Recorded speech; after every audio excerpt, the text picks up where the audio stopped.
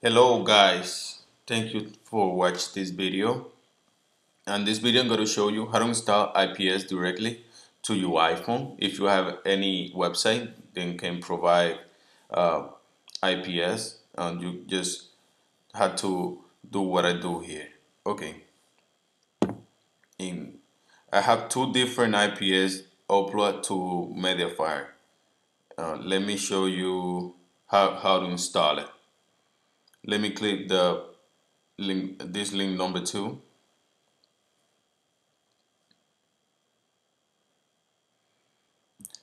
Okay.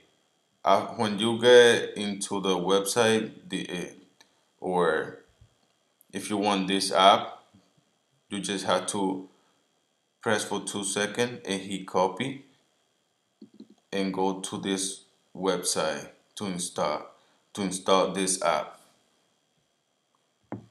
okay this is the website and name you put one two three or whatever you want and paste here what you just copy he create and he install install.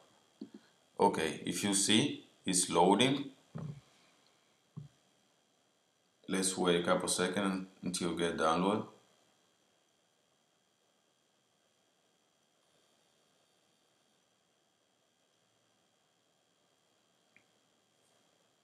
Okay, this is the app I just downloaded.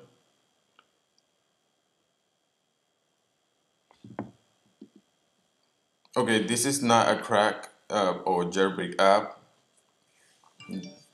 The, this app is uh, is sign in with my Apple ID. Uh, I'm the only one can run that app.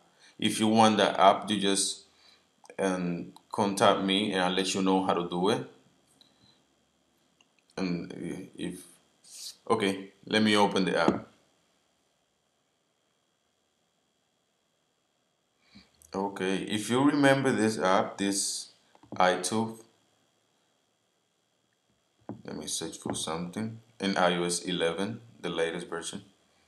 This is Drake, and it's working. This is iTube, one of, of the best music app to download music. If you see, the video is catch. Let me close everything. And let me turn it off. Wi-Fi. Let me open the app back again. In my history. If you see the video is still there.